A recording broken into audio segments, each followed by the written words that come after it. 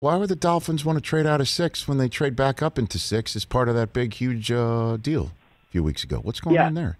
So here's kind of my understanding of where the Dolphins are. So obviously they were at three, and then they took the huge bounty of picks to move back to 12. But if you're at 12, you're sort of kind of out of the mix, right? Like you you lose the ability a little bit to do whatever you want, and you don't get to almost control it. I think the idea is when you're at six, even if you have to give up a first rounder to do it, which obviously the Dolphins did, um, you're much more being you're much more in control of your own fate. So they trade up, or they trade back, they trade up, and now let's say quarterback slides to them, then someone who wants to come up, like they can basically hold them hostage and go, we're going to get the quarterback premium twice.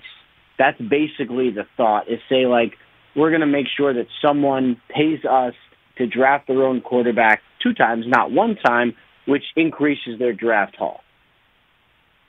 So, okay. Um, I, I still I get it. I mean, but at some point you got to hit the draft it now button, right? I mean, you're, you're right, and like let's say you know, let's say Kyle Pitts is there at six. To me, they probably just take him. I mean, that's a guy who I've spoken to. I don't know how many people, but 25 pages worth of notes, and I haven't had anyone find anything wrong with Kyle Pitts. It's almost funny. It's like Quenton Nelson a couple years back. Like everybody loves him. Um, so maybe the Dolphins just take him. Otherwise, like they're going to be able to get some incredible value. They might trade trade again. So okay, Kyle Pitts isn't lasting till six, right? I mean, uh, that may uh, there's there's uh, I mean that would mean four quarterbacks and then um, Ja'Marr Chase or or Right. or or or Sewell, right, uh, to the Bengals, and thus that that's the glorious heavens opening up for Kyle Pitts to stay in the state of Florida and play professional football. That's the way that would work. Yeah, I would say the only way that Kyle Pitts goes to six, or you know, sort of lasts to six, which is again possible, is if the Falcons take a quarterback, and they have looked hard at the quarterbacks. Um, I know something Peter King mentioned, and I would echo this: that Arthur Blank very much wanted his people to at least take a hard look, investigative look at the quarterbacks. That is something he wanted as an owner to make sure that whether or not they drafted one, they were ready to draft one. So that means the Falcons are in the quarterback mix, possibility, whatever. So if the Falcons take one, then I think Pitts probably falls to the Dolphins, and then you know then it's either do they trade out or do they just take maybe the best player in the draft, not named Trevor Lawrence. See, I, I guess if the, the one thing again though is is um, and Chris Grier deserves an amazing uh, amount of credit and respect for what he is doing at the general manager position in Miami, and that is that is that is a very long all due with all due respect.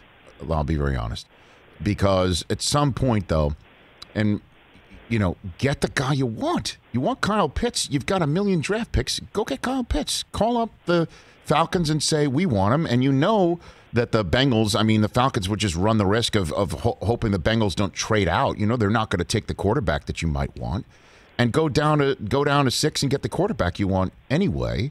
You know, I know that that that you do run the risk of that, but the Dolphins at some point, you know, it just reminds me of the Sixers. They amassed all those picks, and eventually they they did turn it into players, and had to go win with them.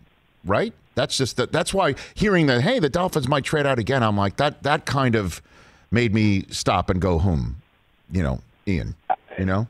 Yeah, it made it kind of made me also, um, but it makes sense because it makes sense in this way. If you if someone is going to take a quarter, like let's assume right now that the Dolphins have the franchise quarterback, right? Which I'd say across the NFL is much more of an open question than the Dolphins would like, but they believe in Tua. So let's assume, for the sake of argument, they believe in Tua and their quarterback question is over. If that's the case, then I don't mind them gouging everyone else for a quarterback because, you know, Kyle Pitts is, I think, going to be a great, great player and everybody loves him. Absent that, there's some, maybe some similar players up until like the 12th or 13th person in the draft. Then it kind of flattens out a little. So you have like a group of great, great players probably up to 12 or 13, and then you have everyone else. So as long as you can stay in that mix, theoretically, you're going to be getting a great player anyway. Maybe just get the capital. That's that's be that would be kind of my explanation for the Dolphins. And in the end, you know, we'll see what end up doing. Hey, you watched all the way to the end. Thanks for that. Watch more right here.